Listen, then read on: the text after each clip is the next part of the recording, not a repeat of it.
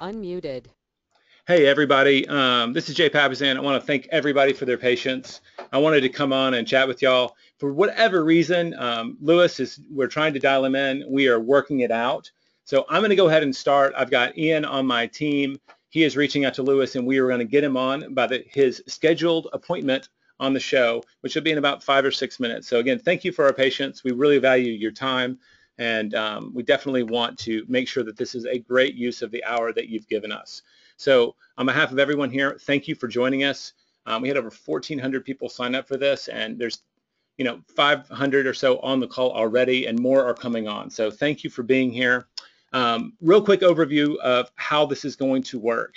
We, um, I will really quickly um, introduce our guest speaker, which today is going to be Lewis Howes. He has just launched a book yesterday called The School of Greatness, which is named after his podcast, which if you haven't listened to it, I've been subscribing for almost a year. It's every time I listen to it, I learn something new. It's a great, great investment of time, and it's one of my daily habits. So I hope you guys will check that out as well. But his book is a compilation of the things he's learned on his journey and from all the amazing people he's gotten to interview on that podcast.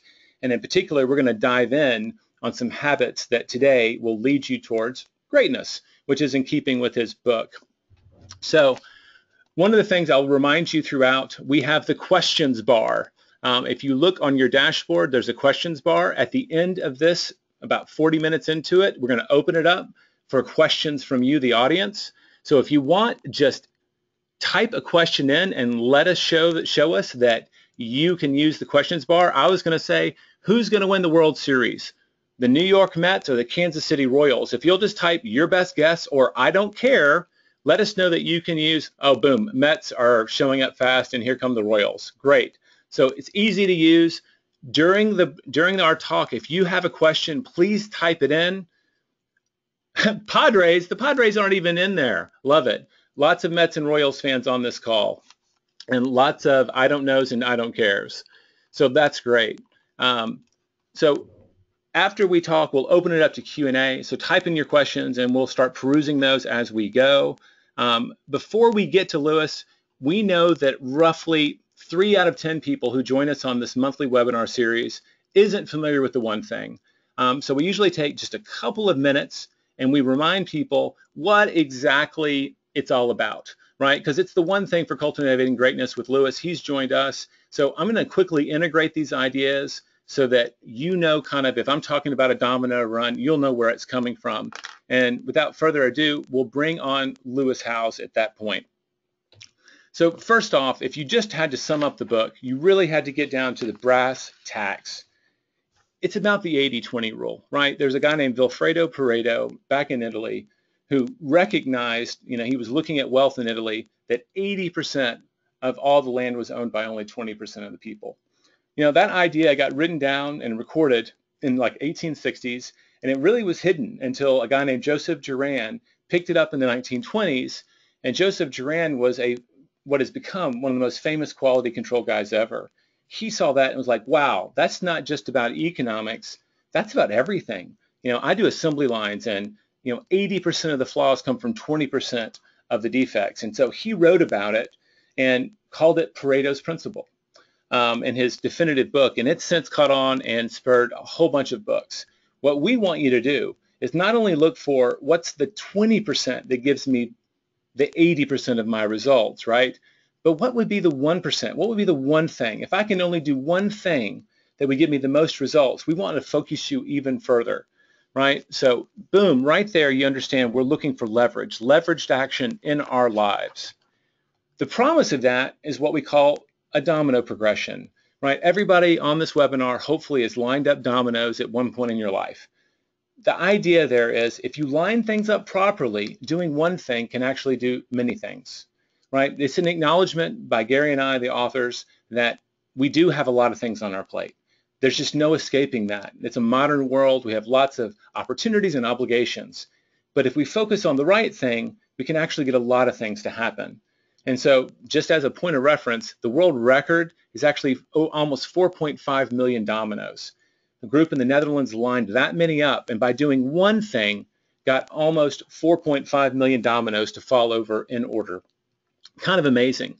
And then we started looking a little further with our researchers, and there was a, a guy named Lorne Whitehead, and he wrote an article in the American Journal of Physics. And he discovered that a two-inch domino can knock over a three-inch domino. And a three-inch domino can knock over a four-and-a-half-inch domino, and so on. And he actually built them out of wood. And by the 10th domino, the domino was as large as a, a six-foot-five man, you know, basically Peyton Manning. So he said, what began with a gentle eh, tick ended with a loud slam. And our aha was not only can one thing do many if you really organize it, it can do more. And the scale of that is really astounding. If you were to keep lining up those dominoes, by the 18th domino, that two inch domino growing at 50% each time would knock over the Tower of Pisa.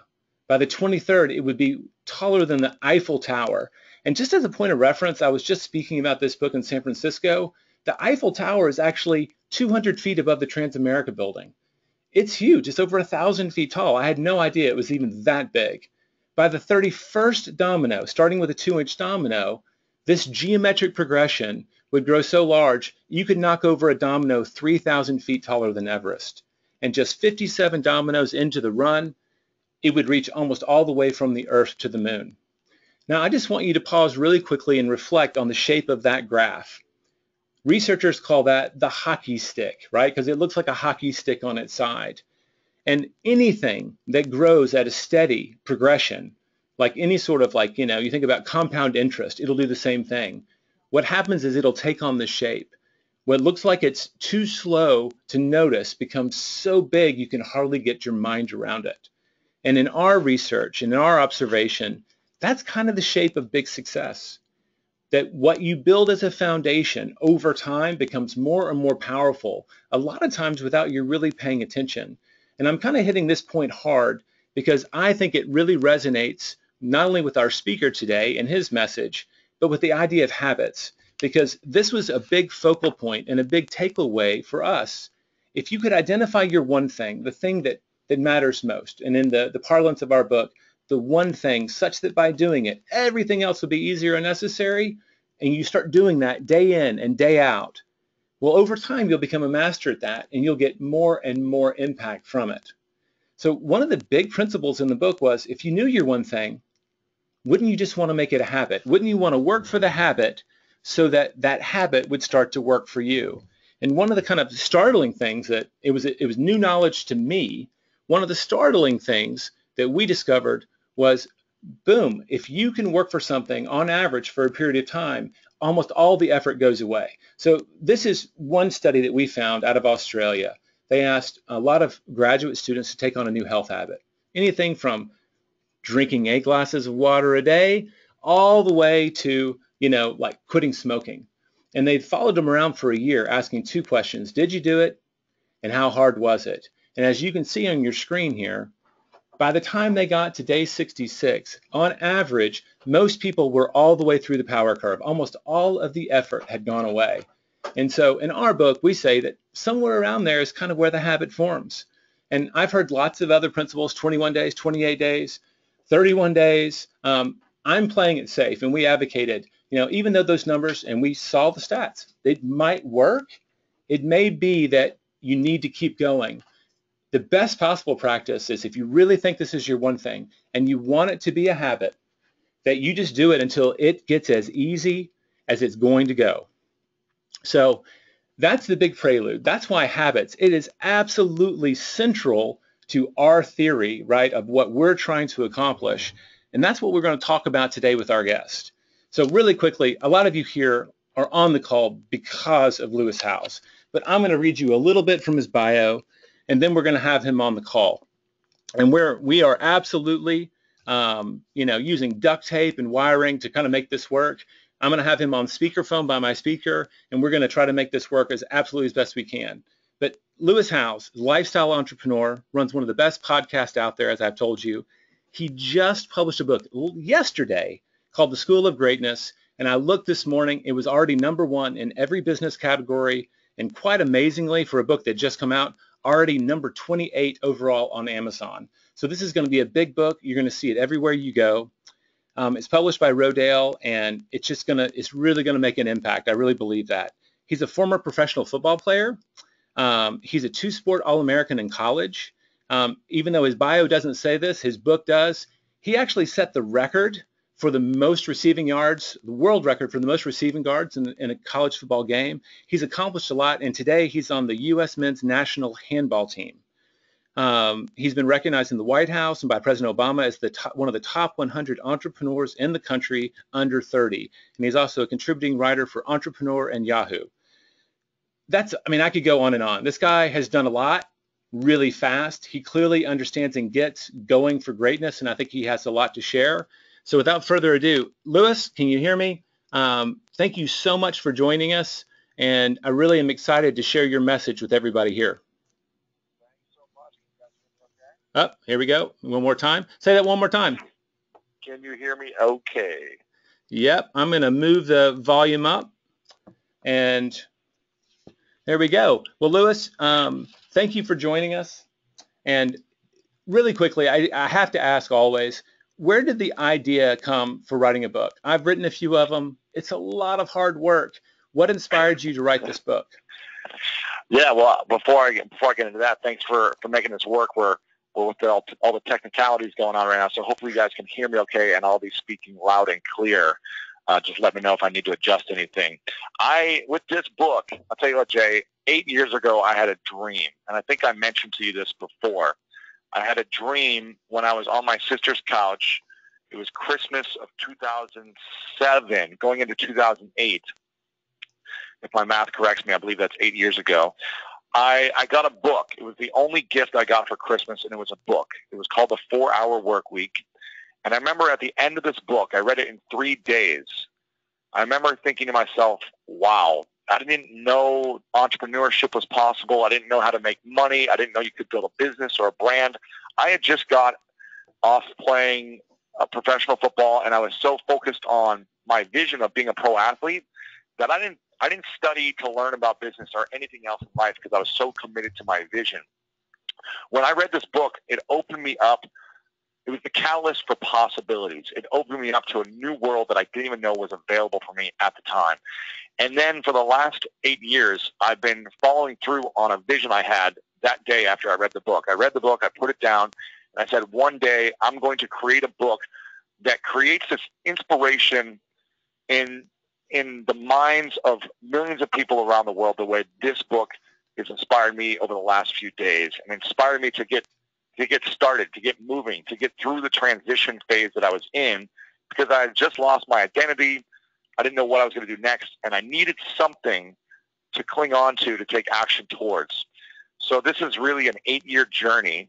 Um, I didn't know how long it was going to take me, but it's it's been incredible because – I knew I had to get enough results in my life, in my business, uh, build the relationships before a book like this could come out for me to get the results I wanted to with this book. So I had to become the human being that I needed to be in order to have this message resonate with enough people so that the book could spread the way it's already been spreading in the first day. It's been unbelievable, the response. It's number 20, like you said, it, it's it's gotten low as number 27 on Amazon. It's number five on Barnes & Noble right now. Number one in every category, like you said. Everyone is coming out of the woodworks to promote. My goal is that you open up your phone, your TV, your email, your internet, and you see the book everywhere. And it's been amazing to see the responses, and I'm so very grateful and blessed so far. Well, I remember when I um, I love that story. I love where you've come from in your journey and how you share it in the book. You know, the one of the things that you shared with me and, and part of the mission here for you, because when I got a chance to be on your show, we talked about purpose and life mission. Yes. You have a huge vision for helping people in this world. Can, can you share that with folks? Like, I mean, because it's a pretty extraordinary vision. Yeah, you know, my vision has shifted over the years. When I was uh, in high school, I wanted to be a collegiate athlete and get a scholarship. When I was in college, I wanted to be a pro athlete. When I was on my sister's couch recovering after an injury, I just wanted to get my own apartment and make enough money every month to get my own apartment. And so over the years, my vision has evolved and it shifts and it changes. And sometimes we have a dream or a vision that we pursue and then we aren't as excited about it anymore, so we stop. So these are things that are all okay. It's part of the seasons of life that you talk about, Jay. Mm-hmm. And for me, I'm in a transition right now where I realized a few years ago when I started this podcast, when I was when I sold a company, I was in a transition. I was like, what do I want to do now? Like I was 28, 29 years old, and I was like, okay, what's next for me? Like, what's my next transition? And I said, I want to make a bigger impact in the world. Before the last in my 20s, it was really all about making more money and getting some achievements and being, I don't know, recognized and received well by people and building those relationships. And I did a lot of that. I, I went and did all those things. And I said, you know what? Maybe it's something when you hit 30. I don't know what it is. But when I hit 30, I was like, I feel like I need to make a bigger impact in the world and, and come from a place of service as opposed to how can I get my needs met? But I think I needed to make sure that my needs were met early on uh, so that I could feel like my basic needs were covered. So I just decided when I started doing this podcast and when people really resonated with it and would email me long messages about how it was changing their life, I said, I want to impact 100 million people and show them how to make a full-time living doing what they love. I was teaching people how to build business online and, and, and through the process of me doing it, and I was helping a lot of people through coaching and, and online stuff about uh, how to get to that next step in online business. And I was seeing how people were lighting up when they were making money doing the things that they love doing the most. Mm-hmm. Because there's there's no better feeling to say I get to wake up and then go do those cool, fun things every single day that I love doing, where I get to interact with people and talk about it and be it and experience it, and I get paid for it as well. Is this real life? Like that's it's an amazing feeling when we get to do the things that make our hearts sing and get paid for it. I believe that what that's what makes us feel the most fulfilled, the most loved, the most worthy of ourselves. And we treat others with respect, more respect. We take care of our health better when we're that fulfilled. And that's been my mission right now. My vision is to create information, content, resources, uh, videos, whatever it may be, to teach people how to follow their dreams and make money around that. Well, I love I love that, Lewis, and I love the size of it because when you first said 100 million, it just came out of your mouth with such conviction. it wasn't bravado, it wasn't being cocky. It just sounded like this is my mission. I'm going to impact not just any number, but 100 million lives. And so awesome. I love that. And today, hopefully, we can provide some real inspiration for some folks to start creating some real positive changes in their lives. So I'm going to ask you one more question. I'm going to transition slide-wise to kind of the big ideas of your book and where I'd love to drive in on habits since that overlaps so well with the one thing. But I've got to say, and I may have missed it. I, don't, I haven't listened to every single one of your podcasts. Huh. But your signature question, you know, you ask people, "What's your definition of greatness?" Is this book kind of your answer to that question? Mm, that's great. I, I, like that question. Uh, I would say this book I mean, I have a one sentence answer if you want to hear that, but I would say that this book is my definition of greatness. If you can go through and follow, there's eight principles in the book that showcase what the greatest individuals, minds, influencers, scientists do to reach the top of their game, not just financially, but impact-wise as well and connection-wise. And I believe if you master these eight principles, you're going to have a pretty incredible life. I love it. And I've got that up on the screen. I know that because of our technical difficulties, you're flying a little blind, but I've got the eight areas of focus from your book up, and we've highlighted positive habits because yes. I felt like when we talked about getting together to share your message, that was an intersection point with the one thing because it's a huge area of focus for us. And so, yeah, I mean, yeah, positive habits specifically. I mean, here's the thing: we have there's so much happening in our day-to-day life and I know you talk about this in the one thing, but there's so much happening in our day-to-day life that we need to set ourselves up to win as much as possible in order to lead our lives with uh, with our visions as opposed to just accepting what comes to us every single day, accepting the jobs we have, accepting the life we're living.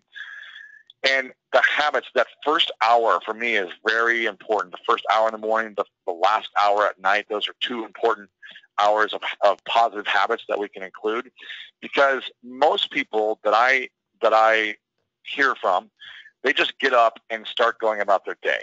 Right. And there's no there's no intention for what they're creating that day. And the richest people in the world, the most successful people in the world, they do it differently. They get up earlier. They have some type of morning ritual routine where they're usually reading. They're doing something healthy for themselves. They're doing a workout. They're doing something active to get the blood flowing. They're stretching. They're meditating. People have different things that they do. But for me, that first hour is so important to at least do something to set the intention for what you're creating the day, as opposed to just let me wake up and get my kids up and eat and make sure I brush my teeth and like react constantly and try to catch up Instead, why don't we create a game plan for ourselves every single day of what we're creating based on our vision? Yeah. And based based on our vision, then we decide to say yes or no to certain things throughout the day, and we take action towards the, the most important things. Then everything else can wait until we complete those most important things. And for me, that first hour or however long in the morning you need to to set those habits in motion are so important. And whenever I follow my morning ritual, I, I just know my day is going to be way better. I'm going to react less to people or situations. I'm going to be calmer. I'm going to be more intentional. I'm going to be clearer about what I want. When I don't follow my morning habit, when I just get up and kind of just like roll out of bed and, and, and kind of lazy with my intentions, I get lazy results. And it's your foundation, it's really right? I mean, it's really What's your that? found. It's the foundation of your day. It is. It is, and it's uh, it's not easy. If it was easy, everyone would be doing it. But it's it's so worth it and important. And when you commit to something that you say, okay, I'm going to do this for a month. Uh, I'm going to try this for a month. This habit, this new thing, and you give yourself an hour of different habits. For me, it's a 12 minute meditation. It's a workout. It's a green juice and a smoothie, and it's making my bed and then expressing gratitude for the day. For me, those five things are a must. I have other things that I'll add in there if I've got more time, but it's like I got to start with gratitude, setting my intention for the day, making my bed, having a green juice or smoothie, and then doing a workout. If I do that every morning, I'm going to feel unstoppable, and I'm going to be a much better human being throughout the day, less reactive and angry or resentful towards the situations that come up. All right. Can I can I can I dive in on a few of those? Um, Yes. I, I laughed out loud when you read um, when I read the section about making your bed because it- well, it's such a small thing, and I kept hearing it.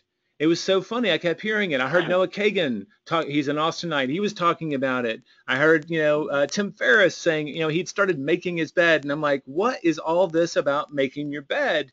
And yeah. then, strangely enough, I remembered someone referenced the McRaven, General McRaven, giving the commencement speech at UT right here in Austin. Yep, yep. I've watched that with my kids like five times. Like my kid, mm-hmm. my son Gus knows all about, you know, making your bed and I think he called them sugar cookies when they had to lay in the sand and and you know, you know, Yeah. roll around in the cold. But it made such an impression on me. And I I had just sent a book to him because of that video and I was like, wow, my whole world is coming back to this make your bed thing. And I made an internal decision like I'm going to add that to my habits in the morning. And I look up and the bed's already made because my wife got ahead of me, Wendy, and she started making our bed for the same reason. So Right. wh- where did that idea? Did it come from McRaven? And, and what do you get from that simple act? You know, I remember seeing that video. When was that? A few years ago, that conventions video. But I, someone else, I gave a talk at a thing called Mastermind Talks. I don't know if you know Mm-hmm. Mastermind Talks. Yeah. And there was a, a like a Buddhist monk, I forget his name, who gave a presentation, and the whole thing was about making your bed, essentially, from what I remember this talk. And he said, "Go back and send me a photo of it." You know, that was like his call to action. It was like, "Tomorrow, go make your bed, and then tweet me a photo of it." And I remember this was like three years ago, probably. And I remember I never made my bed, and I'll, and I'll admit I I feel bad to say this. I had I, hired an assistant about three years ago, and she would like you know she was doing a lot for me at the time. She would cook my meals, which she still does. It's incredible. But she was also kind of like cleaning the room and making my bed uh, if I didn't make it or if I just kind of sloppily put it together. And I was like, that's when I realized like, okay, I if I can't make my own bed, like what is wrong with me? You know, this is something my mom has been telling me to do since I was a child. I should be at least doing one thing on my own that I have ownership in. And the bed for me, it's like since I started doing this a few years ago, the bed is like this sacred space that I didn't even realize the value of it. But when I get in my bed at night and it's been made and it's like perfectly crisp and I get in there, I feel different than when it's messy or when it's sloppy getting in there. I just feel at ease when I go to sleep. And sleep is one of the most important things for us to have energy and uh, recover and all these different things that we need to to live our dreams. But I wasn't thinking about it really. So when I when I make my bed in the morning, it does a couple of things for me. One, uh, I don't know if I got this from his talk or not, or from the uh, the, the guy on uh, the commencement talk or not, but I I feel momentum. It's like I uh-huh. complete uh-huh. a task. The first thing I do is I complete something, and I feel like I've built positive esteem in myself. I've I've built my self esteem. It's like okay, I'm getting something done, and I've cleared the energy and cleared the space. For me, it's really important to be clear and clean throughout my day and organ, let's say organized, because otherwise I'm going to have an unorganized mind if I have an unorganized life. So that that is absolutely, I think, some of the essence of it for me personally too. And I think General McRaven had said the exact same thing that you begin your day by accomplishing something well, and even if your whole day is horrible, you come back to your bed and you, you can say. I got one thing done, and it was well. And I've never heard anyone say, and it also sets you up with this and I agree. I totally. It feels different getting into a bed that's been made with crisp sheets than the other way around. Um, something else you said in there is like feeling. Just you said my mom used to make me, and I think the reason so many of us don't do it and don't appreciate it, probably, it feels like yeah. something we get to grow out of and we don't have yeah. to do anymore versus something that we get to do and it's a pleasure that we get to enjoy. Yeah, it's it's listen, you know, not every day that I'm like excited to do it because I've got my mind is racing sometimes if I don't do my my morning ritual, but it's almost 99% of the time when I get out of my room, my bed is made now, and it's rare. Maybe on like a Sunday morning, if I'm just kind of getting up and going to watch football out in the living room or something, I'll, you know, I won't do it sometimes. But I find it's such a huge difference maker when I do it, and I highly recommend people doing it. Well, it's it's incredible. All right. Well, you know, we got about 10, 15 minutes before we open it up to questions. So I'm just going to remind everyone, if you're listening to this and you have a question, um, even if it's just about making your bed, type it in the question so that we can get to it um, at the end of this broadcast and answer your specific questions. I, I had a, something I was going to ask you in general. Like I look at this, these eight areas, and I, I love that positive practice positive habits is one of them. When did you first become aware that you needed to be purposeful about habits? Was there a moment where this really clicked for mm-hmm. you? I mean, back in high school, I would say, actually maybe eighth grade, I went to a private boarding school, and that's when I really understood the power of discipline. Mm-hmm. You know, in, in my in my life, in discipline because I we we had to have our room look a certain way. We had to wear we had a dress code. We you know there was mandatory study hours uh, there was there's all these things that was like it was very disciplined, and even in sports, you know, it was very rigorous and disciplined. Everything had an itinerary. Where there was an itinerary for practice, there was an itinerary for school, there was an itinerary for the morning, itinerary for uh, after you get back from dinner, about being in your in your room to study. So everything had a purpose and an intention, and I was able to be so much more focused with my life when I had this itinerary as opposed to just what am I going to do today? And maybe I'll create something, maybe I won't, and we'll see how it goes. So I learned early on in eighth grade and through high school, I was still in this private boarding school. I thrived off the discipline. I thrived off the coaching, off of the structure, because I was able to create incredible results in that structure as opposed to just loosey-goosey, do what you want structure. And I followed that through in college sports and, and, and pro sports. And then after that, when I started building my business, I realized I need to have an itinerary for what I want to create every single day so that I can schedule it and then make the time for it and make it important. And then everything else doesn't matter towards my vision or it can wait if it's not as important as my vision during these set hours. And that's really guided me to, to where I'm at right now. That's cool. Well, really quickly, your morning rituals, will you recap those for us? Um, yes, this is the ideal the ideal morning. Your Again, itinerary. I'm not I'm yeah. not a perfect human being, so some mornings I don't do it, but um, I wake up and I express my gratitude first thing because I live another day and I'm healthy. And for me, if we're not expressing gratitude, then we are. I just feel like there's so much to be grateful for in the world, and when we come from a place of I'm blessed, then nothing else matters. It doesn't matter what our situation is, where we're struggling. Like we're still blessed to be alive and to have the opportunity of this life. So I come from gratitude first.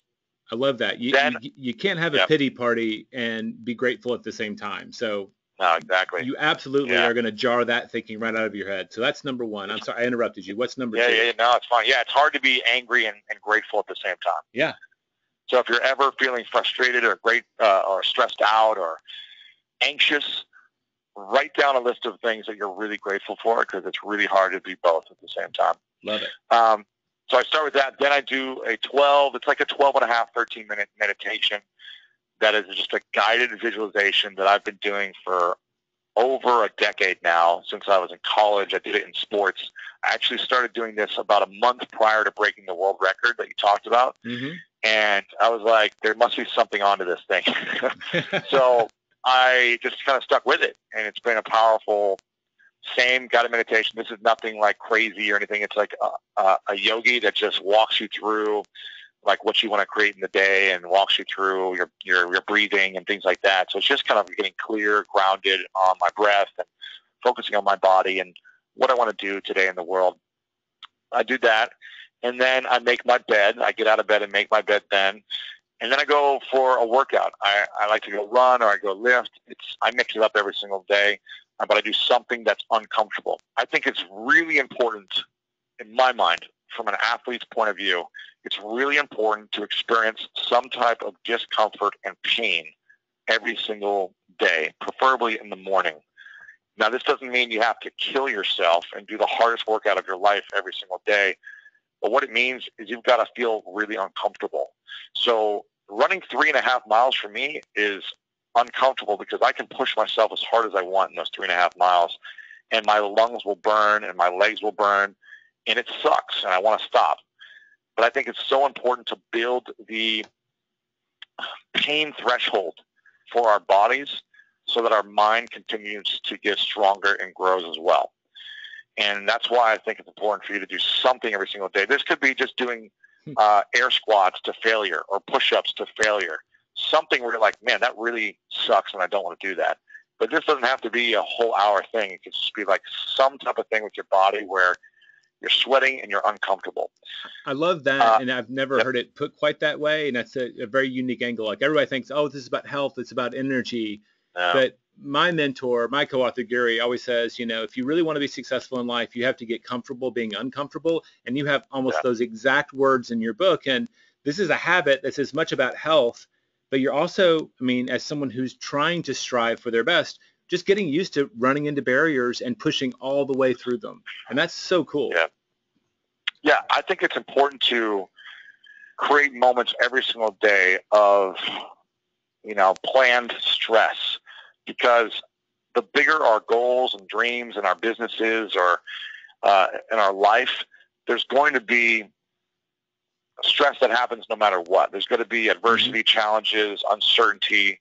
And if we're not preparing ourselves every day, it's like a daily practice for the bigger games that come up all the time. If we're not preparing ourselves, then how are we going to expect to just show up and be able to handle situations when the most pressure is on the table, when we're trying to close the deal, when we're doing the job interview, when we're uh, speaking in front of 10,000 people? How are we uh, supposed to have any experience if we're not practicing it on a daily basis? So for me, it's important for your health, absolutely, probably first and foremost, but it's also important to build that muscle of being able to take on any adversity that comes your way. Love it.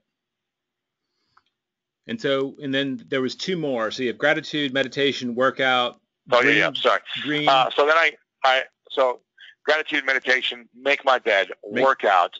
Then I come back and do uh some type of stretching and intention for the day. okay. A stretch. I like to stretch and recover intention for the day. At the same time, I'm drinking my green juice or having a smoothie. It's kind of like all in that same time, um, and that's the that's it. And then there's a shower. You know, the whole bathroom routine routine where I'm just cleaning myself and brushing my teeth. That getting dressed and then going into my vision for what I'm creating that day. What I love about that is you can pretty much do that anywhere. You know, yeah. you, you, can run three and a half miles even when you're traveling. You can do everything that you just described. Maybe the green juice is something you have to go buy if you're in a hotel somewhere, right. but pretty much everything else, there's no excuse, you know, unless you decide I got to take a day off. Everything is are habits that you can implement all the time. Exactly. I love it. Well, really quickly, you said something that I'd kind of forgotten about from that book. You don't just have morning rituals, and that's what a lot of people, and that's where we focused in our book you also have evening rituals. Do you want to give us just a, a real high flyover of if you launch your days with such purpose and intention, mm-hmm. how do you finish your days so that you really are, are set up for the next day? Yeah, I think it's important to to close the day with uh, with gratitude and peace and closure as well. So, at the end of the day, I I like to unwind for about 30 minutes before I go to sleep and follow this process. And that's either it's depending on where I'm at in my life. Right now, I'm not in a relationship. When I was, uh, you know, last year, every night before bed, I would call my girlfriend and and ask her what are three things she's most grateful for. Because hmm. I want to know the day what are the three things that she can express gratitude for. Because again, no matter what happened, the struggle, the pain, the frustration of the day, when we focus on gratitude, it's hard to be angry. Got it.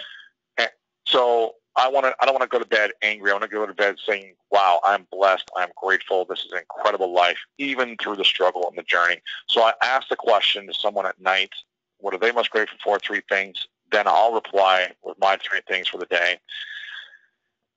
I turn the phone off, and and, and what I've been doing lately is putting it on the other side of the room. You know, if if I was you know really stepping my game up to the next level, I would put it like on the other side of my my condo and in the kitchen, yeah, and have it over there. That's like next level habit, which I don't have that skill yet.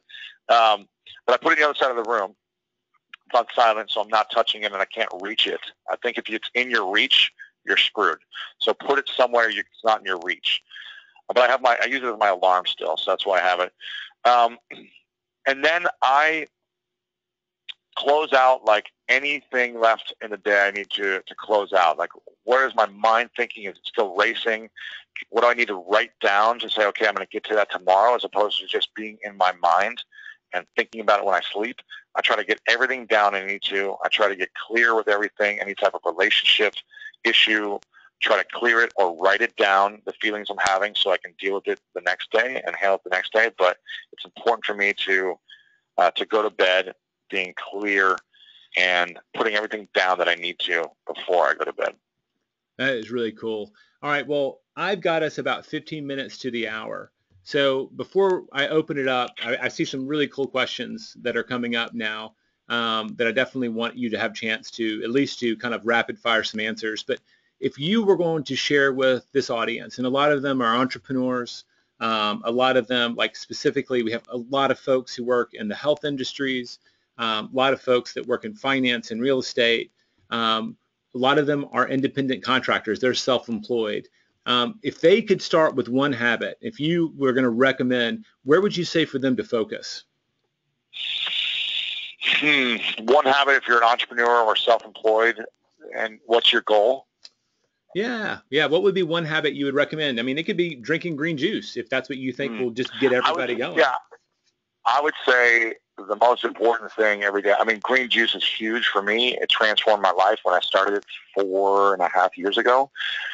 But I would say the most important thing is our bodies, and that's being active. So some type of physical pain every single day. I'm not talking again about killing yourself, but some type of physical discomfort with a workout every single day. That is going to do so much for your mind, your body, your heart. It's going to be healthier and stronger, and it's going to release a lot of stress and tension. But if there was only one thing, I would say being physically active with discomfort every day.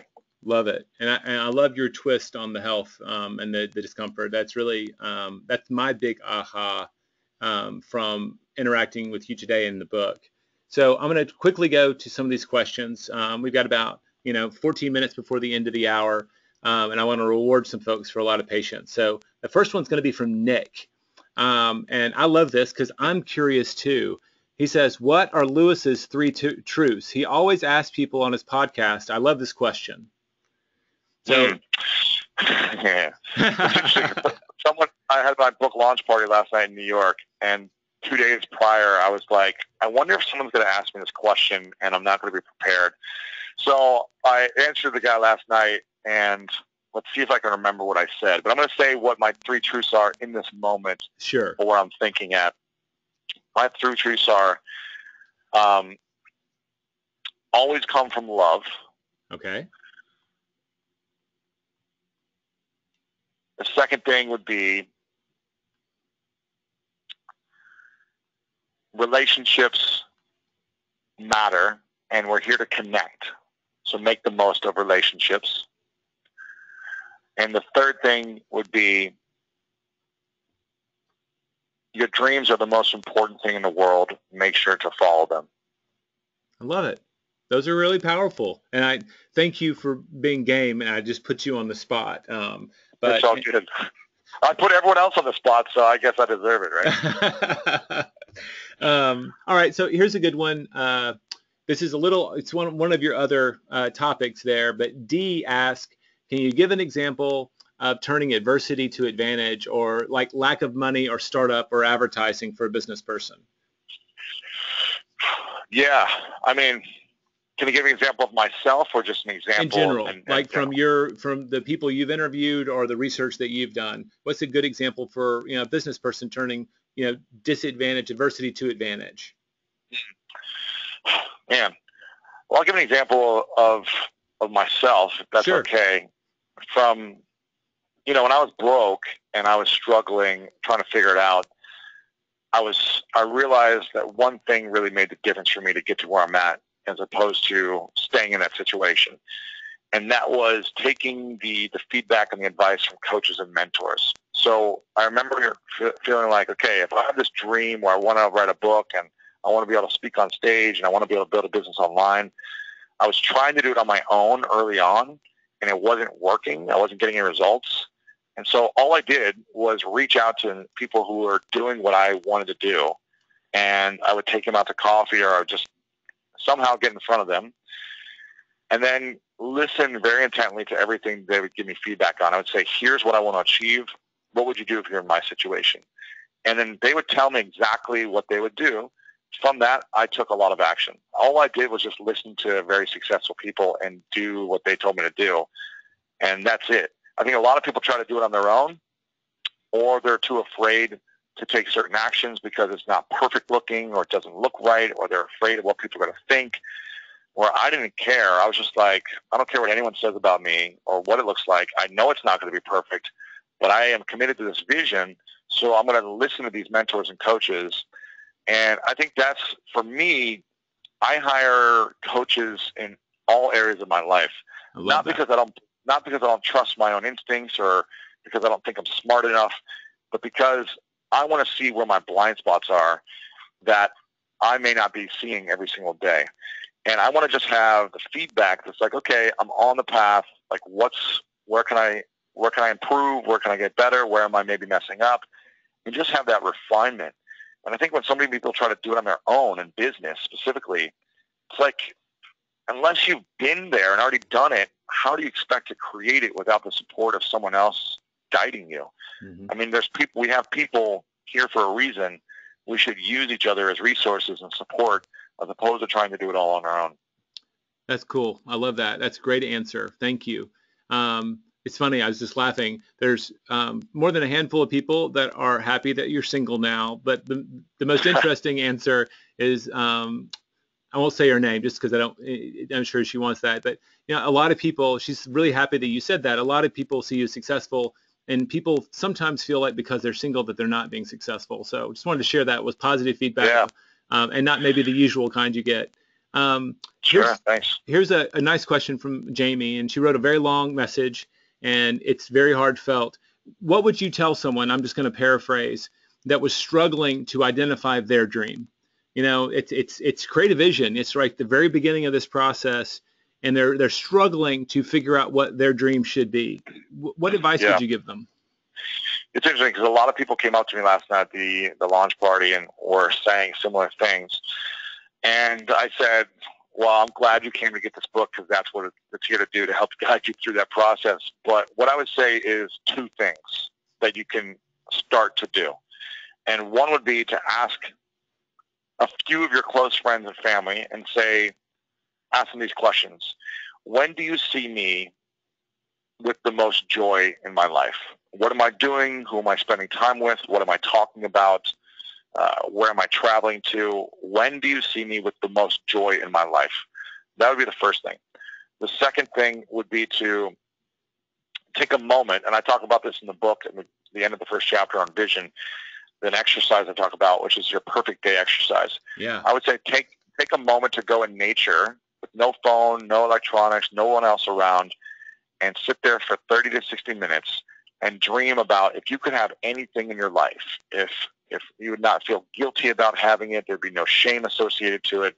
If you wouldn't be disappointing anyone, what would you be doing in a perfect day for you? Would you be traveling? Would you be goofing off at the beach? Would you be, uh, you know, with certain people? What would you be doing? What would you be chasing? What really excites you when you think about that you couldn't fail and that everyone would be supporting you and that you wouldn't feel bad if you did it. Because I think a lot of times we feel bad about our dreams. We feel guilty, like our parents didn't want us to do those things, or that's not what our spouse wants us to do, or they won't love us if we don't if we don't do what they want us to do for me, that's just BS. You know, we're born to pursue and live our dreams for us to inspire other people around us to do the same for themselves. We're not born to live other people's lives that they want us to live. We're unique individuals. So what I would say is do those two things. Ask some friends what make, brings me the most joy. When, when I'm doing what, where do I have the most joy?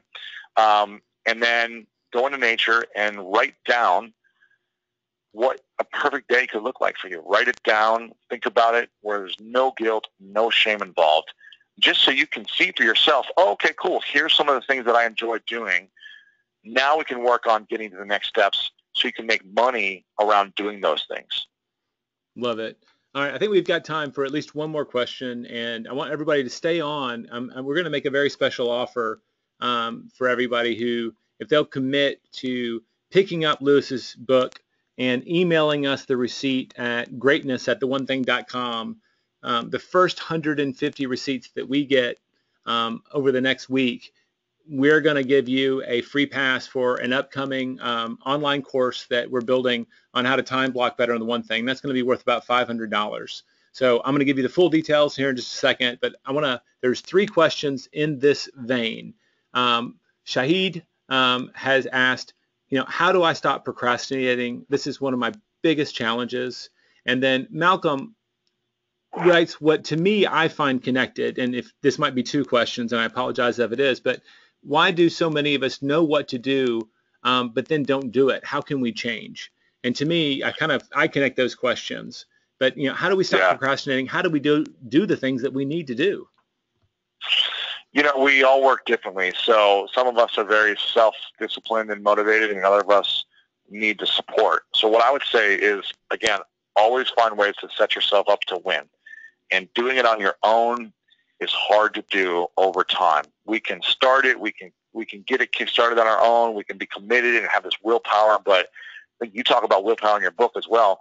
It's hard to sustain that for years uh, you know, doing it all on your own. So what I would say, set yourself up to win, find an accountability partner, find a relationship you're in, you know, be in a relationship that supports your your vision and can keep you on task, hire a coach, find a mentor, find a team of people around you that you've got to stay committed to um, to keep you on task.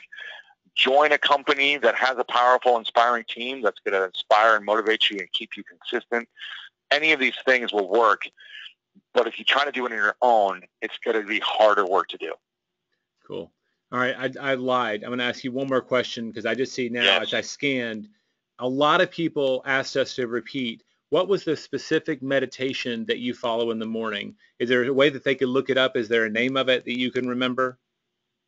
Uh, it's interesting. I have an, it, it's like an audio I have from 10 or 12 years ago. So I don't even think it's available online. It's just uh, something that my sister gave me ah. from her yoga, her yoga teacher. So okay, yeah, it's not. Maybe that's something it's like a one of a can... kind. What I'm going to do is I'm going to recreate it on my own. Yeah, and and kind of update it for today. So I'm going to be posting that out here sometime in the next probably 30 days once this book launches. Cool. You know. Well, if you let me know, time, I'll so. make sure I email everyone on our mailing list that so that, that everybody get the answer.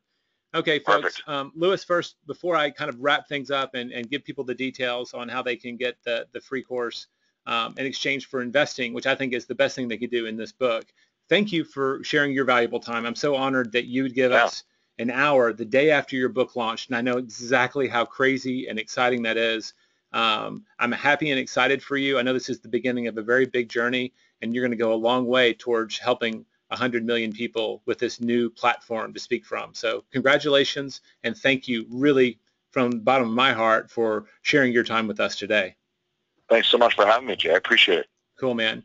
Well, everybody, thank you again um, to all of the folks who joined us today um, for listening in. I want to really quickly, um, on the screen, uh, we have a link. So go to the onething.com slash Lewis Howes follow it. It just takes you to Amazon. Buy a copy of The School of Greatness. The first 150 people that email us their receipt right at greatness at theonething.com, they will get an invitation to an upcoming online course.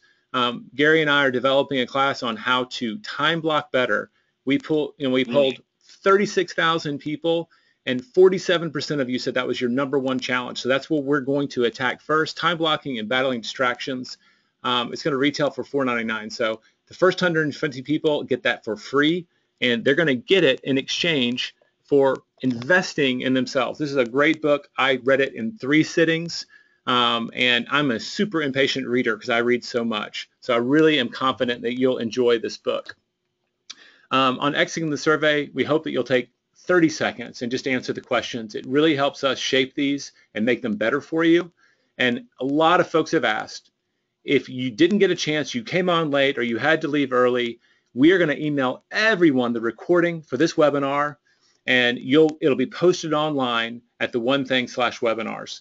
The link is on there. Our next webinar um, is with Peter Voogd. He is a amazing entrepreneur. He's done incredible things like Lewis very early in life. I'm super excited to share cool entrepreneurial tricks with you there.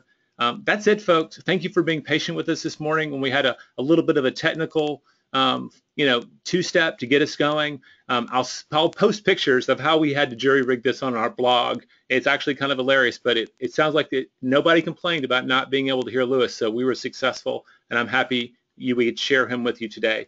So until next month, thank you so much for joining us on The One Thing. Um, you can find us online. Um, there's my handle, there's Lewis's, um, then there's the theonething.com, and if we left a question unanswered, we'll try to answer it there. Thank you so much, and we'll see you next month.